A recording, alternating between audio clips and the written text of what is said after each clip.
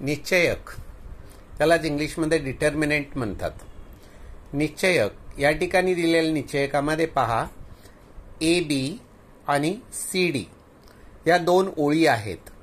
आणि त्याचप्रमाणे ए सी आणि बी डी ए सी आणि बी डी हे दोन उभे स्तंभ आहेत. या निश्चयकाची कोठी दोन आहे. कारण दोन ओळी आणि दोन स्तंभ म्हणून निश्चयकाची कोठी दोन आहे. निश्चयका नेहमी एका संख्येसाठी लिहिला जातो. आणि ती कशी लिहिली जाते? ए डी वजा बी सी या ठिकाणी पहा ए डी वजा बी सी या ठिकाणी आपल्याला निश्चयकाची किंमत मिळाली. ही किंमत आहे. निश्चयकांना नाव देण्यासाठी ए बी सी डी या इंग्रजी अक्षरांचा वापर करतात. आता निश्चयक पद्धती किंवा क्रेमर पद्धती असं सुद्धा म्हटलेलं आहेत. याला क्रेमर पद्धती याच्यासाठी म्हटलेलं आहे. गॅब्रियल क्रेमर या गणितीने ही पद्धत शोधली आहे. म्हणून या पद्धतीला क्रेमरची पद्धत देखील म्हटलेली आहेत. आता क्रेमर पद्धतीने दोन चलातील एक सामायिक समीकरणे सोडवताना काही गोष्टी आपल्याला माहिती असणे गरजेचे आहे. आधी दिलेली जो दोन समीकरणं आहेत ती दोन समीकरणे ए वन एक्स अधिक बी वन वाय बरोबर सी वन आणि ए टू एक्स अधिक बी टू आय बरोबर सी टू या स्वरूपात लिहिता आली पाहिजेत. त्यानंतर डी या निश्चयकाची किंमत लिहू. त्याचप्रमाणे एक्ससाठी डी एक डीची किंमत लिहू आणि नंतर डी वाय या निश्चयकाची किंमत लिहू. ही लिहिल्यानंतर आता डी मध्ये स्थिर पदाचा सी वन सी टू हा स्तंभ वगळला की आपल्याला डीची किंमत मिळते. याच्यामध्ये आपण सी वन आणि सी टू घेतलेला नाही. आता डी एक्सची किंमत काढताना त्या ठिकाणी ए वन आणि ए टू हा जो एक्सच्या सहगुणकांचा स्तंभ आहे तो वगळलेला आहे. पा या ठिकाणी सहगुणकांचा स्तंभ वगळलेला आहे. आणि डी वाय या निश्चयकाची किंमत काढताना याच्यातील वायचे जे सहगुणक होते डी मधील बी वन आणि बी टू ते वगळून त्या ठिकाणी सी वन आणि सी टूच्या किमती लिहिलेल्या आहेत. आणि अशा रीतीने आपल्याला एक्स बरोबर डी एक्स छेद डी आणि वाय बरोबर डी वाय छेद डी या किमती घेतल्या की एक्स आणि वाय या चलाच्या किमती आपल्याला मिळतात. अशा रीतीने आपल्याला निश्चयक पद्धतीने म्हणजेच क्रेमर पद्धतीने उदाहरण सोडवता येते. सराव संच एक पॉईंट तीन. आता या ठिकाणी कृतीपत्रिका दिलेली आहे. ही कृतीपत्रिका आपल्याला पूर्ण करायची आहे. या कृतीपत्रिकेमध्ये निश्चयक दिलेला आहे. या निश्चयकाची किंमत काढण्यासाठी आपल्याला पुढील कृती करायची आहे. तीन गुणिले पाच. म्हणजे या ठिकाणी पाच आले आणि दुसरे दोन गुणिले चार. म्हणजे दोन गुणिले चार. तिन्ही पाचशे पंधरा. पंधरा वजा आठ बरोबर सात. हे पहिले उदाहरण झाले. दुसऱ्या प्रश्नामध्ये खालील निश्चयकाच्या किमती काढा. पुन्हा एकदा पहिलं गणित घेतलं आपण. वजा एक सात. आणि दोन चार. पुन्हा वजा एक आणि चार यांचा गुणाकार करायचा. वजा दोन आणि सात यांचा गुणाकार करायचा. चार एक्के चार वजा चार आणि वजा चौदा. बरोबर वजा अठरा. दुसरं गणित आहे. दुसऱ्या गणितात पाच तीन आणि वजा सात शून्य या किमती दिलेल्या आहेत. पुन्हा पाच गुणिले शून्य वजा वजा सात गुणिले तीन. शून्य गुणिले कोणतीही संख्या बरोबर शून्य? वजा गुणिले वजा अधिक म्हणून हे अधिक एकवीस एकवीस अधिक शून्य बरोबर एकवीस. तिसरं गणित दिलेलं आहे. या ठिकाणी अपूर्णांक वापरलेले आहेत एबीसीडीच्या किमती. तर पहा पहिलं पद सातशे तीन गुणिले एक छेद दोन वजा पाचशे तीन गुणिले तीन छेद दोन. आता या ठिकाणी सात एक्के सात छेद तीन दोन्ही सहा. या ठिकाणी पाच त्रिक पंधरा छेद तीन दोन्ही सहा. आता या ठिकाणी छेद समान आहे. एकदाच लिहायचा. पंधरा वजा सात बरोबर आठ आणि मोठ्या पदाचं चिन्ह आहे. वजा म्हणून वजा आठ छेद सहा. याला संक्षिप्त रूप दिलं की आपल्याला वजा चारशे तीन ही या निश्चयकाची किंमत मिळते. अशा रीतीने प्रश्न क्रमांक दोन सोडवायचा आहे. खालील एक सामायिक समीकरणे सोडवा. क्रेमर्स पद्धतीने आपल्याला ही उदाहरणे सोडवायची आहेत. समीकरण दिलेले तीन एक्स वजा चार वाय बरोबर दहा आणि चार एक्स अधिक तीन वाय बरोबर पाच. आता दिलेल्या समीकरणांची मांडणी आपण करून घेऊया ए एक्स अधिक बी वाय बरोबर सी या स्वरूपात केली. तीन आणि चार हे एक्सचे सहगुणक आहेत. चार वजा चार आणि तीन हे वायचे सहगुणक आहेत. आणि दहा आणि पाच ही स्थिर पद आहेत. आता ज्या वेळेला निश्चयकाची किंमत काढतो त्यावेळेला स्थिर पद सी वन आणि सी टूच्या किमती घ्यायच्या नाहीत. या ठिकाणी पहिल्या स्तंभामध्ये एक्सचे सगुणक आहेत दुसऱ्या स्तंभामध्ये वायचे सगुणक आहेत. अशा रीतीने तीन गुणिले तीन वजा चार गुणिले वजा चार. तीन त्रिक नऊ अधिक वजा गुणिले वजा अधिक सोळा. सोळा अधिक नऊ पंचवीस.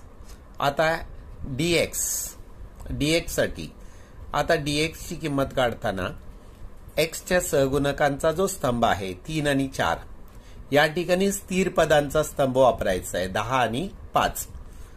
जर आपण थोडक्यात म्हणायचं असेल तर डिलीट एक्स असंच आपण म्हणूया डिलीट एक्सचे सहगुणक. आणि हे त्यातली काढले आणि त्या ठिकाणी आपण स्थिर पद लिहिली. वायचे सहगुणक जो स्तंभ आहे तो तसाच लिहिला. आता पुन्हा एकदा दहा गुणिले तीन वजा पाच गुणिले वजा चार. आता दहा त्रिक तीस वजा गुणिले वजा अधिक म्हणून तीस अधिक वीस बरोबर पन्नास. आता डी वाय डी वायची किंमत काढत असताना वाय स्तंभाची जी वायचे सहगुणक असणारा स्तंभ म्हणजेच वजा चार तीन या ठिकाणी आपण काय लिहायचं आहे? सी वन सी टू या स्थिरांकाचा स्तंभ लिहायचा आहे. पुन्हा तीन गुणिले पाच बरोबर तिन्ही पाची पंधरा आणि चार गुणिले दहा चार दहा चाळीस. मग आता या ठिकाणी चिन्ह भिन्न आहेत. वजा बाकी होणार. मोठ्या पदाचं चिन्ह ऋण आहे. म्हणून चाळीस वजा पंधरा बरोबर पंचवीस. आता एक्स आणि वाय या चलाच्या किमती काढताना एक्स बरोबर डी एक्स छेद डी बरोबर पन्नास छेद पंचवीस बरोबर दोन आणि वाय बरोबर डी वाय छेद वाय बरोबर ऋण पंचवीस छेद पंचवीस बरोबर? ऋण एक. म्हणून एक्स वाय बरोबर दोन वजा एक ही दिलेल्या एकसामायिक समीकरणाची उकल आहे. उदाहरण चार. सहा एक्स वजा चार वाय बरोबर बारा आणि आठ एक्स वजा तीन वाय बरोबर वजा दोन. दिलेले समीकरण ए एक्स अधिक बी वाय बरोबर सी या स्वरूपात मांडणी केली. आता डीची किंमत काढताना या ठिकाणी स्थिर पदांचा जो स्तंभ आहे. तो यामध्ये घ्यायचा नाही. फक्त ए ए वन आणि ए टू आणि बी वन आणि बी टू म्हणजेच एक्सच्या सहगुणकांचा आणि वायच्या सहगुणकांचा स्तंभ घ्यायचा. आता यानंतर सहा गुणिले वजा तीन वजा आठ गुणिले वजा चार.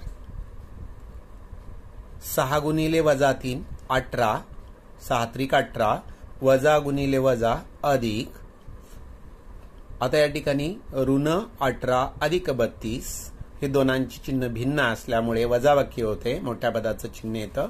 बत्तीस वजा अठरा बरोबर चौदा मिळाले. आता आपण डीएक्ससाठी किंमत शोधू. आता डीएक्स ची किंमत काढताना एक्सच्या सहगुणकांचा स्तंभ याऐवजी स्थिर पदांचा स्तंभ घ्यायचा. ऋण बारा आणि ऋण दोन हा स्तंभ घेतला आणि वायच्या सहगुणकाचा स्तंभ तसाच लिहायचा. आता या ठिकाणी पुन्हा एकदा गुणाकार करा. ऋण बारा गुणिले ऋण तीन वजा ऋण दोन गुणिले ऋण चार. आता या ठिकाणी पहा पुन्हा एकदा वजा गुणिले वजा अधिक छत्तीस आणि या ठिकाणी वजा गुणिले वजा अधिक. आणि हे वजाचं चिन्ह तसंच राहिलंय. छत्तीस वजा आठ. छत्तीस वजा आठ बरोबर अठ्ठावीस मिळतात. आता डी वायसाठी आपण किंमत शोधूया. आता डीवायची किंमत सोड शोधताना एक्सच्या सहगुणकांचा स्तंभ तसाच लिहायचा. मात्र बीच्या सहगुणकांचा स्तंभ लिहिण्याऐवजी स्थिर पदांचा स्तंभ लिहावा. त्यानंतर पुन्हा गुणाकार करा. सहा गुणिले वजा दोन वजा आठ गुणिले वजा बारा. अधिक गुणिले वजा वजा वजा बारा. आणि वजा गुणिले वजा अधिक शहाण्णव. शहाण्णव मधून बारा गेले चौऱ्याऐंशी राहिले. आता एक्स बरोबर डी एक्स छेद डी बरोबर अठ्ठावीस छेद चौदा बरोबर दोन. आणि वाय बरोबर डी वाय छेद डी बरोबर चौऱ्याऐंशी छेद चौदा बरोबर सहा. म्हणून एक्स वाय बरोबर दोन सहा ही दिलेल्या समीकरण एक सामायिक समीकरणांची उकल आहे. प्रश्न क्रमांक सहा दोन एक्स अधिक तीन वाय बरोबर दोन आणि एक्स वजा वाय छेद दोन बरोबर एक छेद दोन. यांची मांडणी a x plus b y is equal to c म्हणजेच ए एक्स अधिक बी वाय बरोबर सी या स्वरूपात केली. आता डीसाठी आपण किंमत शोधूया. यावेळेला सी वन आणि सी टू हा जो स्तंभ आहे स्थिरांकांचा तो घ्यायचा नाही. एक्सच्या सहगुणकांचा स्तंभ दोन आणि इथं एक्सचा सगुणक आहे एक म्हणून दोन एक. या ठिकाणी तीन आणि एक छेद दोन. ऋण एक छेद दोन. आता डी साठी किंमत काढूया. दोन गुणिले वजा एक छेद दोन वजा एक गुणिले तीन. आता या ठिकाणी दोन आणि दोन कॅन्सल होतात. वजा एक वजा तीन के तीन. म्हणजे वजा एक वजा तीन बरोबर वजा चार. आता डी एक्ससाठी आपण किंमत शोधूया. आता डी एक्सची किंमत काढताना आपण एक्सच्या सहगुणकांचा स्तंभ घ्यायचा नाही. त्याऐवजी आपण स्थिर पदांचा सहगुणक स्थिर पदांचा सी वन सी टू हा जो स्तंभ आहे तो घ्यायचा आहे. दोन आणि एक छेद दोन आणि बी आहे तसा लिहायचा. तीन आणि वजा एक छेद दोन. आता दोन गुणिले वजा एक छेद दोन वजा एक छेद दोन गुणिले तीन. आता हे दोन दोन कॅन्सल होतात. वजा एक वजा तीन छेद दोन. तिरकस गुणाकार करा. बे के बे.